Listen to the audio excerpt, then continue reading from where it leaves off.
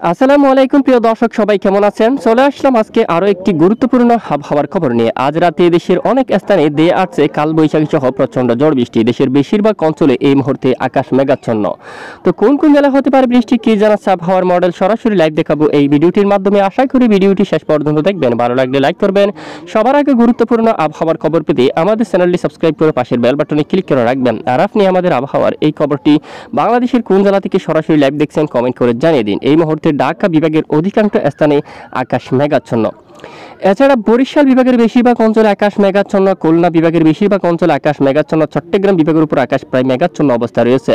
কুমিল্লা থেকে শুরু করে ময়মনসিংহ বিভাগ, সিলেট বিভাগ, এছাড়া রাজশাহী বিভাগ, রংপুর বিভাগের একাধিক জায়গায় আকাশ মেঘাচ্ছন্ন অবস্থা রয়েছে।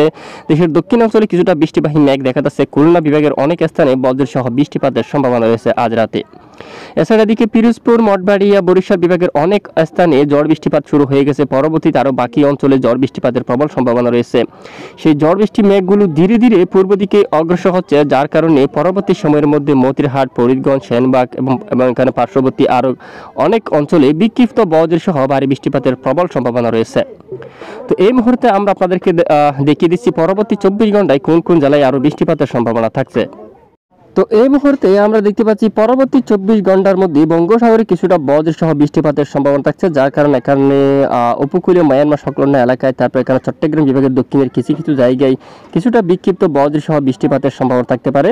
এছাড়া দেশের উত্তরাঞ্চলে, রংপুর বিভাগের অনেক স্থানে ঝড় বৃষ্টিপাতের সম্ভাবনা রয়েছে। আমরা যদি ম্যাপটা একটু বড় করে দেখে আপনাদের এখানে এখানে রাজশাহী বিভাগ চাপাই নবাবগঞ্জ তারপর এখানে পাবনা, তারপর এদিকে আমরা দেখতে পাচ্ছি জামালপুর, তারপর সায়েদপুর তারপর রংপুর এই সমস্ত জেলাগুলোর উপর বিক্ষিপ্ত বজ্র সহ বৃষ্টিপাতের প্রবল সম্ভাবনা রয়েছে। পরবর্তী তিন দিনের মধ্যে কোন কোন জেলায় বৃষ্টিপাতের বেশি সম্ভাবনা রয়েছে আমরা সরাসরি এই মুহূর্তে পরবর্তী তিন দিনের বৃষ্টিবাহী মোড আপনাদেরকে নিয়ে আসলাম।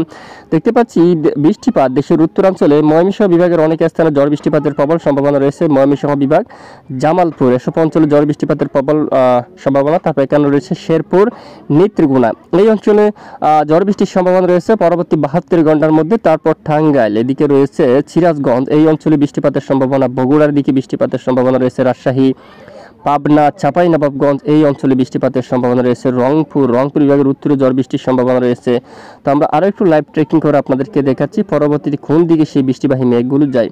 পরবর্তীতে দেখা যাচ্ছে এখানে সিলেট বিভাগের এই যে সুনামগঞ্জের উপর, নেত্রকোনার পশ্চিম দিকে সুনামগঞ্জ, সিলেট বিভাগের একদম পূর্ব দিকে অনেক যে শিবচা, এই যে শিলচার, এই অঞ্চলে বৃষ্টিপাতের সম্ভাবনা থাকছে।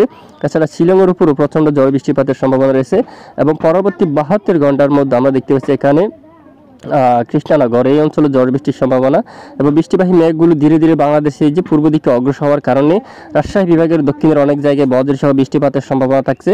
এছাড়া পাবনা, তারপর আমরা দেখতে পাচ্ছি পরবর্তীতে ঢাকা বিভাগের উপর, ঢাকা বিভাগের উপর ঝড় বৃষ্টিপাতের সম্ভাবনা এই যে ঢাকা, তারপর নারায়ণগঞ্জ, তারপর এখানে আমরা দেখতে পাচ্ছি চাঁদপুর, এই অঞ্চলে নোয়াখালী, ফেনী কুমিল্লা, আগরতলা এই অঞ্চলে ঝড় বৃষ্টিপাতের সম্ভাবনা রয়েছে। ভয়াবহ লাল কালার মেঘটা আমরা দেখতে পাচ্ছি এখানে নরসিংদী। নরসিংদীর পার্শ্ববর্তী সমস্ত এলাকাগুলির উপর এই যে নরসিংদীর পার্শ্ববর্তী অঞ্চলগুলোতে ঝড় বৃষ্টির সম্ভাবনা থাকতে পারে।